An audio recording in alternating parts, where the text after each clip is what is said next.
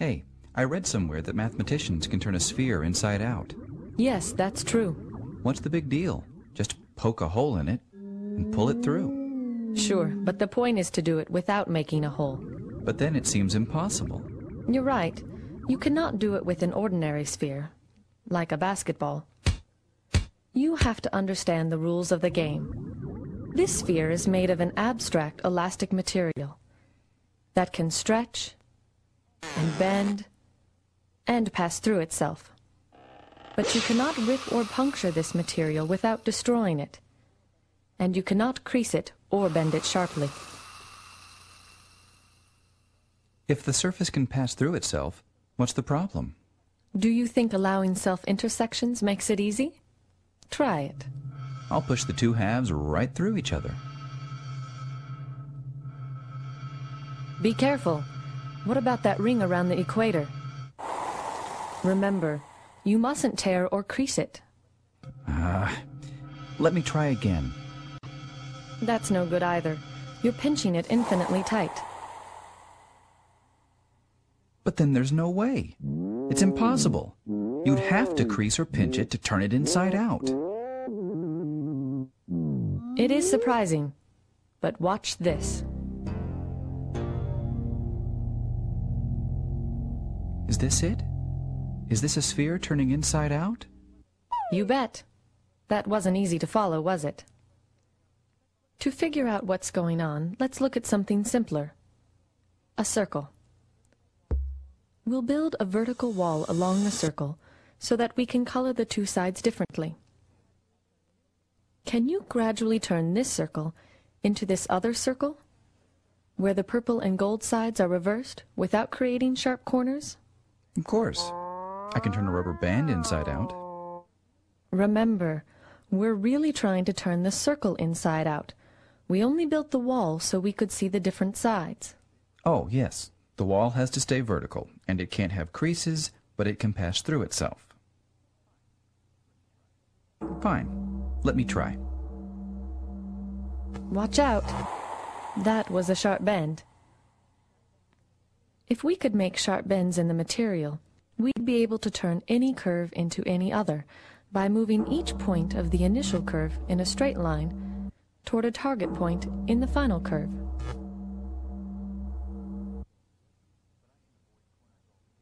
But I can avoid corners altogether by making a loop smaller and smaller. That's an interesting idea, but pulling a loop tight is not really a gradual change. It's like having a corner in disguise. So it's against the rules. Well, if you can't have corners, and you can't pull loops tight, I think it's impossible to turn the circle inside out.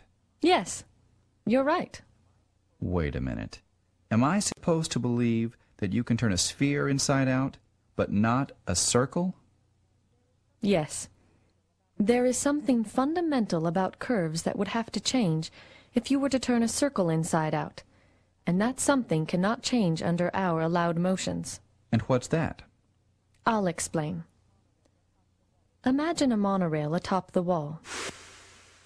Now the rule about monorail traffic is that the car only travels forward and it always keeps the purple wall on its right.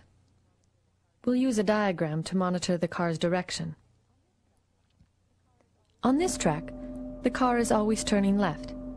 As it goes around the circle once, it makes one full turn toward the left.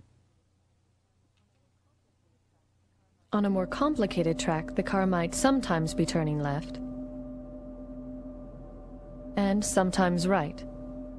But the net amount of turning after one complete circuit is always some number of full turns in one direction or the other. The number of full turns it makes toward the left is called the curve's turning number.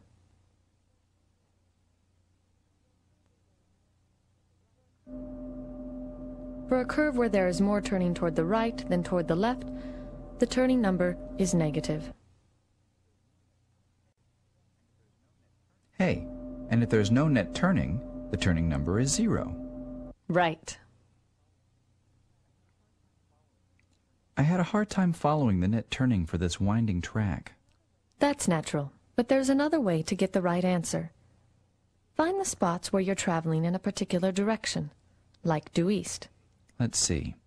Since we're looking from the south, that would be wherever the monorail is going toward our right, where we see the purple wall face on. Exactly. At some of these points, the track is curving away from us. Viewed from here, it looks like a smile. At these places, the car would be turning left. At others, the track looks like a frown. Curving toward us, at these points, the car would be turning right. The net number of full turns increases when the car passes a smile and decreases when it passes a frown. Starting at zero. One, two, three, four, three, two, and we finish with three. The turning number is the number of smiles minus the number of frowns. I see. The turning number measures happiness. If you insist. Now, the nice thing about the turning number is that it remains the same when a curve changes according to our rules. Frowns and smiles can appear or disappear, but only in pairs that balance out. The number of smiles minus the number of frowns never changes. So a curve can only turn into another curve with the same turning number. Right. The turning number is the fundamental property I mentioned before.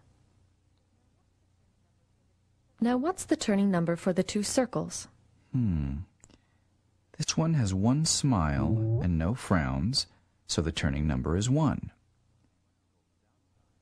And if the gold is outside, one frown and no smiles, minus 1. It makes sense. On one curve, you're turning left all the time. On the other, it's the opposite. Good.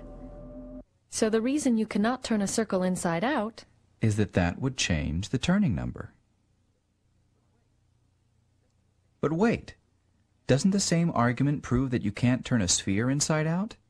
This sphere has a three-dimensional smile, and this one has a three-dimensional frown. So they have different turning numbers. Not quite. Your analogy is good, but to make it complete, we must look at a general surface and consider all the points where it is horizontal and gold is on top. We'll draw horizontal stripes to make these points easier to locate. Smiles are like bowls, curving up. Frowns are like domes, curving down. But there are other points where the surface is horizontal that are neither bowls nor domes. They are saddles and look like smiles from one direction and frowns from another. Near a bowl or a dome, the horizontal stripes form rings. Near a saddle, they form an X. But how does that change anything? Spheres don't have saddles. Ah, but the point is how these features interact. Look, a dome and a saddle can come together and cancel out. Likewise, a bowl and a saddle can cancel out. But bowls and domes, like electrical charges of the same sign, normally don't get near each other. The unchanging number for surfaces, then, is this. Add domes and bowls and subtract saddles. This number is 1 for the sphere no matter which face is out. Okay, I'm willing to believe that turning numbers don't prevent the sphere from turning inside out as they do the circle, but that doesn't mean you can actually do it. We'll get to that. I know it's hard to see.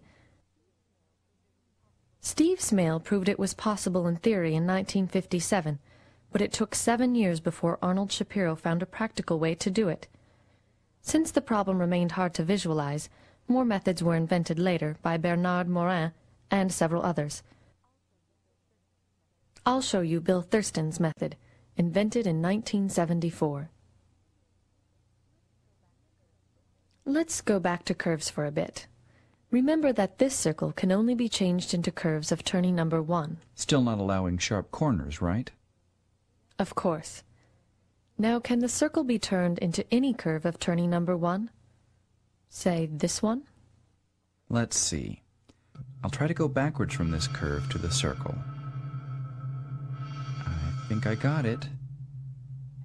There. Excellent. Now try this one. Hmm. I'll undo this loop first and push this fold back. Now here. Here we go. Very good.